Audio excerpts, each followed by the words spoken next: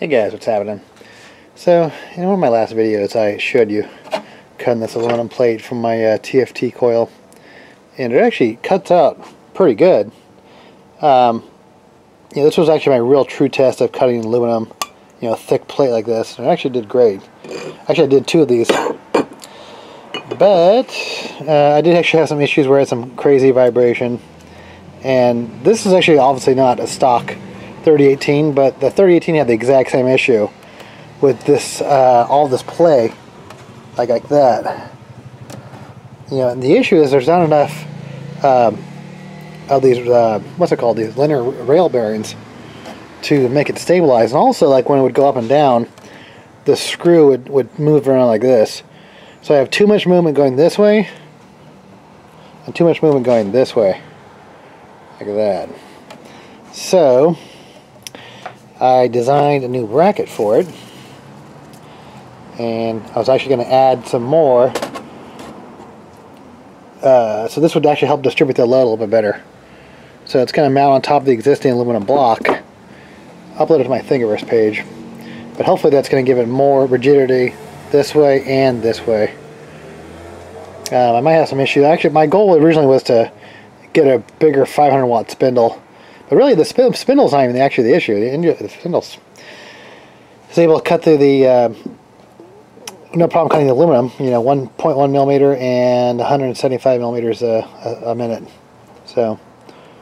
Alright, so I'm going to get this spindle off and see if I can get in there. So yeah, this is what I was talking about. Actually, the it's not the spindle itself, it's actually this cooling head. So, I guess I could have designed it to be notched down, or I could reprint this thing again. Um, but my intention was always was to get a bigger spindle. So I think this is like 200 watts. So this is better than the stock one that would come with 3018.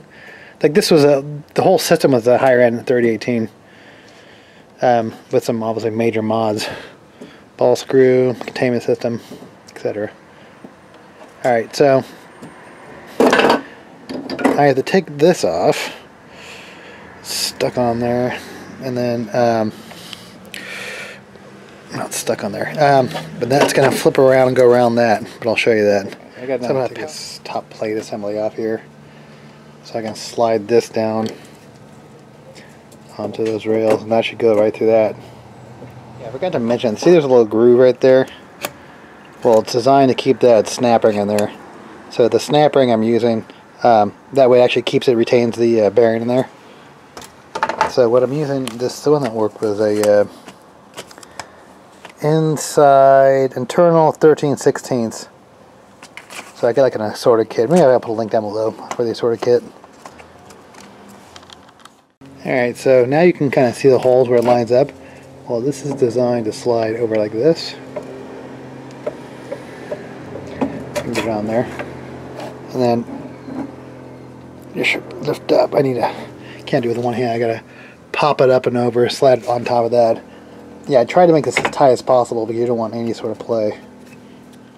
So here's a side angle. That's where the new bearings are, existing bearings. So it basically gives it more leverage. So yeah, there's no play here anymore. So the only play now is like over here with these things bending, but still, I mean, there was like such crazy wobble this way. Can't even go sideways. It's no longer up and down. So I just had to even out the load here a little bit. So let's see if it's even quieter. I'm not even sure yet. Let's go uh, tool on. Oh yeah, this is even more quiet too. Way more quiet. Um, yeah, just there's less vibration going on here. Look at that, way more quiet. Yeah, if you have a 3018, even like the other ones, those super cheap ones, gotta get more more bearing in here, more load distribution. All right, cool. Yeah, it already worked good, so hopefully it's gonna work even better. So, all right, cool.